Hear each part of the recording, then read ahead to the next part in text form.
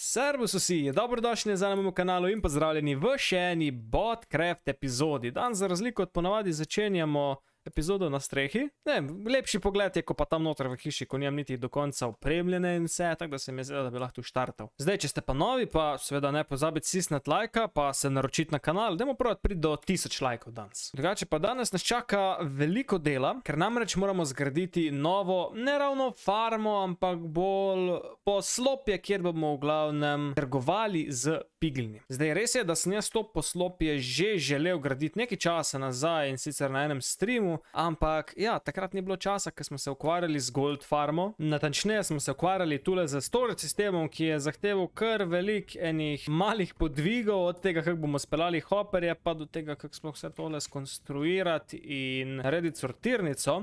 Ampak ja, mislim, da se je kar v redu obnesel, tule imamo nekaj blokov, ogromno nuggetov, ki smo jih pri AFK ali že do zdaj in tudi golden ingotov, ki jih bomo seveda rabili, če želimo s piglini trgovati. Zdaj, jaz sem se odločil, da bom to poslopje, oziroma piglin menjalnica na splošno zgradil kar tule pod gold farmo, to pa zato, ker je bo najlažji transport golda po eni strani. Po drugi strani je pa fajn, da imamo vse na kupu, da se v nederju ne zgubimo, ker ja, v nederju je brez mogoče označenih poti, vsaj tule po bedroku, se kar težko navigirati, če ne poznaš koordinat. Razmišljal sem tudi, če bi slučajno uporabili avtomatski sistem, ki bi te zlate ingote pošiljal od gold farm oziroma od storage sistema tu dol do piglin menjalnice. Sam sem razmišljal, da bo prvo, ko prvo to predolgo trajalo in ne bo dosto učinkovito za vse pigline ki jih bomo sem pripeljali. Po drugi strani pa voda v nederju ne obstaja, kar zna biti problem, glede na to, da je transport itemov zelo poglavitno lahko osnovan predvsem na vodi. Tako da se bomo letos v tej sezoni zanašali na ročno predstavljanje golda, ampak to ne bo noben problem. Preden začnemo z gradnjo, je zelo pomembna predpriprava, ki sem se jaz že en mal lotu in sicer sem tule v en transport box pripravil velik blackstone, ki ga bomo potrebovali za build, zraven pa bom najverjetneje rabo tudi steklo. Zdaj razmišljam, razmišljam, ali bi uporabil rdečega ali bi uporabil kaj sivega in podobnega, ker moja lanska baza je bila v bistvu pokrita z rdečim steklom in v bolj temnem otenku celotna baza. Tako da razmišljam, da ne bom preveč kopiral moje lanske teme, bo verjetno najboljš, da steklo. Ki bo uporabljeno v tem buildu, ker gre za gold farmo, pobarvamo v rumeno, oziroma recimo neke vrste zlato barvo. Zdaj tu pa nastane problem, ker jaz rumene barve nimam skoraj nič. V bistvu je teh 23 rožic vse, kar imam, ampak teh 23 rožic mislim, da ne bo niti za dva steka stekla dovolj. Tako da za začetek bo mogel ratati mal vrtnar. Pa id mal nabirati rožice, I guess. Evo, super, začnemo lahko pred hišo že, pa dejansko jih ni niti tule tok mal, lega. Tole bomo nabrali, ko bi tajpih. Zelo med nabiranjem sem se spomnil, a nima en bot crafter farme rožic. Ne vem, zakaj ne grem tja, pa si mogoče malo sposodim ali pa kupim, če hočete. Samo ko ne vem, kjer je in ja, moram vse skupaj ročno nabirati. Prej zgleda, da sem se mal zakalkuliral, ker tistih 24 rožic bi bilo dovolj za 3 steke, ne za mal manj kot 2. Ampak ja, v vsakem primeru, zdaj imamo 2 steka dandelionov, kar bo, če to na hitro spremenimo, dovolj za 2 steka barve. In zdaj, če se vse mal spoznam na Minecraft, gre en stek barve za 8 stekov stekla. To pomeni, da imamo za 16 stekov rumenega stekla dovolj barve, kar bi pa znal znalo v našem primeru že biti dovolj. Sicer je res, da mi nekaj hudo velik stekla ne bo ostalo, ker je tati dobro modrih panelov neštejemo, ker jih še ne vem, kje bom porabil, ker niso tako uporabni dejansko. Ostalo pa lahko spremenimo. In to so bolj kot ne vsi materijali, ki jih danes rabimo za ta build. Verjeli ali ne, z Blackstone se da ogromno stvari narediti, od štenk, slabov in tako naprej, tako da bo to najbolj uporabljen tip kock. Vzeli bomo še nekaj zlata, ker seveda, če gradimo neko poslopje, ker se bo veliko zlata uporabljalo, je fajn, da ga malo tudi uporabimo za estetiko. Pa seveda še kaj osvetlitve, ne vem, razmišljam, da bodo kar lanterni najboljša izbira. Ali pa mogoče en malo glowstone, ker si lanternov še nijamo toliko velik, ne. Ni še bilo časa, da bi toliko AFK-jev, da bi nabral neke velike količine tistih svetilk, tako da se bomo zaenkrat zadovoljili tudi s temi. Tako, razbili smo še scaffolding do gold farme, zato da ne bo vse skupaj pregrdo zgledalo in na tem mestu je sedaj čas, da zgradimo Piglin Trading postajo. Pa uživajte v timelapsu.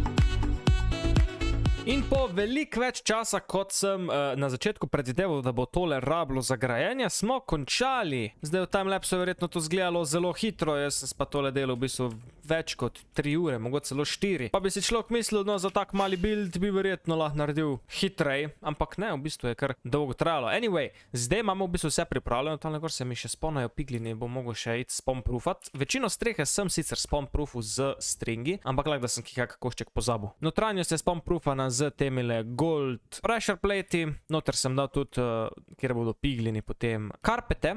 Zato, da se ne bodo stakali kje noter v hopperju, kar ne bi bilo najboljš. Malo je tudi osvetlave in pa seveda rumena streha na vrhu, zato da se cela gold farma od zgori vidi. Hotel sem komponirati čim več golda dejansko build, ampak da ga ne bi preveč urinil noter, tako da ta sprednji del je po mojem ok prišel. Storage sistem, kot ste videli, je absolutno gromozanski. Torej, vsak piglin, ki bo v tem poslopu, bo imel za sebe dve vrsti double chestov, kar je 1, 2, 3, 4, 5, 12 double chestov prostora za svoje trope, zato bomo rabili tudi ogromno golda, tako da zgleda, da bo treba. Še veliko fakajat. Edino, kar nam pa še preostane, je pa, da dejansko spravimo sem noter pigline. In po mojem, ni boljšega načina za to, kot da to naredimo v nedeljo na streamu in da bo potem tale zadeva do konca funkcionalna. Imamo pa dan za opraviti še eno zadevo in sicer z ostalimi člani Global Worksa bomo imeli sestanek, ker namreč smo v zadnjem času, zadnja dva meseca, v bistvu odkar je Global Works sploh deluje, nabrali ogromno diamantov, ki jih bomo danes razdelili, pa seveda se moramo tudi malo pogovoriti o novih projektih. In gremo trenutno na Svazovo bazo, ker bomo tam danes imeli sestanek. Evo, pozdravljeni na novem sestanku Global Worksa, tako dolgo ga že nismo imeli, da vas ne poznam več. Kdo spati? Bogdaj. Uh, Eh, Bogdaj. Jaz sem ime je tam. ne. Ne vem, jaz ne vem, kdo so ti ljudje, tako dolgo že nismo imeli Global Works sestanka. V glavnem, um, vidim, da ste fajn pripravili že dajmo od kocke. Danes ja. se moramo pogovoriti o uh, tem, koliko smo zaslužili v zadnjih dveh, treh mesecih in potem, kje trgovine bomo še naprej postavljali. Ta bo pa mesna. Kot prvo, a imamo kakšne ideje za nove trgovine, ker bi rad, da bi čim prej otv- otvorili tale eh, GTC, uno kot cel, in bi bilo treba narediti streho in dodatke. In kam je šel soft? Soft je šel očitno plavat. Uh, jaz sem imel Ok. idejo in sicer v bistvu dve ideji. Ena je, da bi naredil, ne vem, Turtle Egg Shop, samo ne vem, koliko je to useful. useful a pa. Mhm. Uh, druga pa, da bi v kleti zgradil kazino. Damn, to je ful dobra ideja. Druga Ja, opcija. Ampak to v naslednji epizodi, ne še v tej. Tako da.